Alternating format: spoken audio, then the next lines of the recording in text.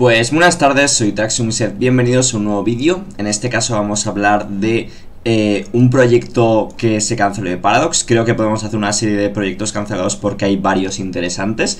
Y este tiene que ver con las portátiles, ¿no? Eh, recordemos que eh, es un tipo de consola que hace tiempo lo petó mucho, ¿vale? De hecho, Nintendo quizás ha sido la consola que más, o sea, la empresa que más se ha llevado esto en la cabeza. Recordemos la mítica Game Boy y la DS que lo petó muchísimo. De hecho, luego la 3DS creo que Quizá por ser más cara no hizo tantos números, pero bueno, es algo que Nintendo ha sido integrando siempre, hasta el punto de que su última consola es, es mixta, o sea, es una mezcla de consola fija, pero que también te puedes llevar por ahí. De hecho, se eh, rumorea una Switch eh, versión low, low cost más barata y, esas cosas. Y bueno, antes de comenzar, eh, os quiero comentar que obviamente estamos en un setting nuevo, ¿vale? Durante unos días porque... Eh, son vacaciones aquí en España, ¿vale? No sé si en Latinoamérica es similar, pero tenemos como 10 días de vacaciones los estudiantes y he aprovechado para irme a casa, entonces va a cambiar un poco el setting, quizá la iluminación y esas cosas no se vean tan bien, ¿vale? Pero bueno, intentaré mejorarlo, etcétera.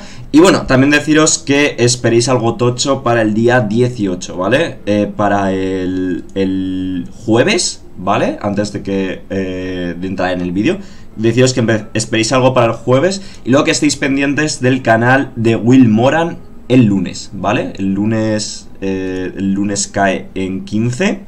Vale, el día 15 y el día 18 súper importantes, ¿vale? Entonces vamos a hablar de, de, bueno, lo que estaba comentando, que es la idea de un proyecto que se canceló de Paradox, que era la versión para Nintendo DS del Europa Universalis 2. Tal cual suena, es algo que puede resultar bastante chocante, pero le he estado dando vueltas y creo que realmente sería interesante. Es como la, la idea de que las dos pantallas, o sea, creo que realmente la idea de tener dos pantallas en un juego de Paradox se podría aprovechar muchísimo. Y uno de mis sueños húmedos como eh, jugador es tener un ordenador conectado a dos pantallas eh, de cara a los streamings, etc. Y yo creo que los juegos de Paradox se podría eh, hacer muy buen uso de esto, ¿no? es decir, que tuvieses la interfaz de gestión de tu país en una y todo lo que es el mapa en otra, por ejemplo, ¿no? obviamente el sistema de ventanas está muy bien, pero no sé, mucha gente se agobia y tal. Y bueno, que la, parece que la consola podría haber aprovechado esto, ¿no? Entonces, pues es un proyecto que efectivamente se canceló. Eh, el Europa Universalis 2, recordemos que era muchísimo, muchísimo más en 2D que lo que han sido eh, las versiones modernas del Close, Witch Engine.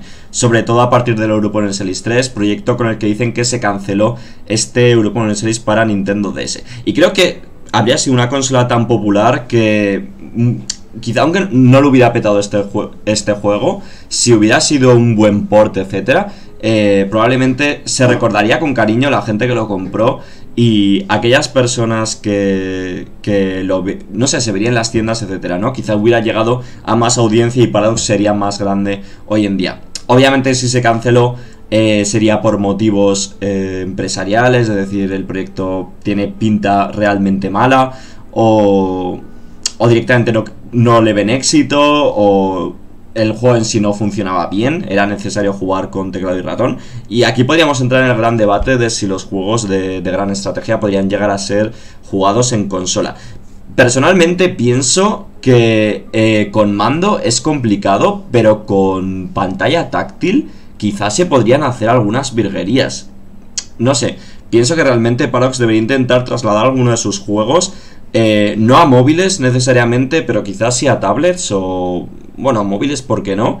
Eh, obviamente que no hagan un juego dedicado a eso, prefiero que hagan triples A, entre comillas, es decir, juegos eh, grandes para PC, Linux y Max. Y Mac creo que Max, Linux y Max, ¿qué coño estoy diciendo? Pero, pero bueno, que aquí podemos ver algunas imágenes, ¿no? De hecho, aquí estamos viendo, eh, bueno, imágenes realmente que son del EU2, pero que pertenecían a esta build, ¿no? Y vemos como en la pantalla de arriba, que recordemos la pantalla que no es no, es no táctil, la pantalla más informativa de la Nintendo DS, nos daban pues esa información del, del país, eh, información de la fecha, eh, todos los temas del poder monárquico, la moral de nuestras tropas, eh, los consejeros que teníamos, etcétera, ¿no? Y en la pantalla táctil todo lo referente al mapa. Y creo que es realmente interesante. Creo que es algo.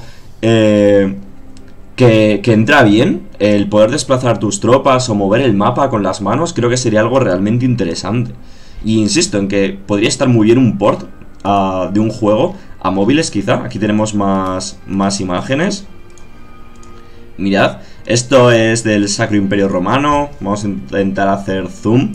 Dice, toquen una provincia o una unidad para seleccionarla y eh, toca una provincia para acceder a los comandos de acceso rápido, ¿no? O sea que realmente había como ese esfuerzo también de, de hacerlo realmente jugable, que no fuera simplemente eh, un port cutre, sino que el jugador tuviese posibilidades de acceder a todas las opciones del juego de PC eh, con, los, con los dedos, ¿no? Realmente, y eso es complicado, pero bueno, al menos se hizo el intento y es curioso, ¿no?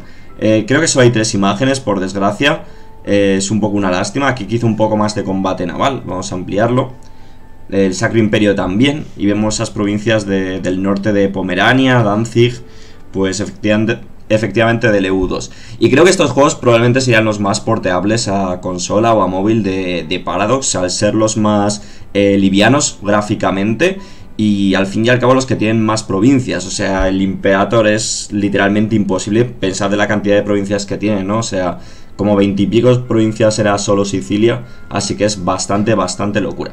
Y sin más chicos, eh, una curiosidad, un poco eh, vídeos que quiero ir trayendo eh, en esta época en la que no hay mucha información. Ya sabéis que estamos en una época en la que los diarios de desarrollo de Paradox son bastante flojos hasta que anuncien la expansión del Hearts of Iron 4 y la expansión del Stellaris, pues vamos a estar un poco en ayunas, ¿no? Pero de todos modos, como sabéis, el lanzamiento de Imperator está muy cerca y bueno, que van a seguir viniendo cosas al canal. Quiero hablar de, eh, de lanzamientos no tan buenos de Paradox, quiero eh, hablar de más proyectos que se cancelaron de Paradox. Eh, muchos ya los conoceréis, ¿vale? Pero otros quizá no los conozcan. Y bueno, creo que esto es interesante, ¿no? Al menos conocer que Paradox ha hecho estos intentos de llegar a más audiencia o de entrar a nuevas consolas. Así que nada más chicos, espero que os haya resultado de interés este vídeo y nos vemos en el próximo. Chao, chao.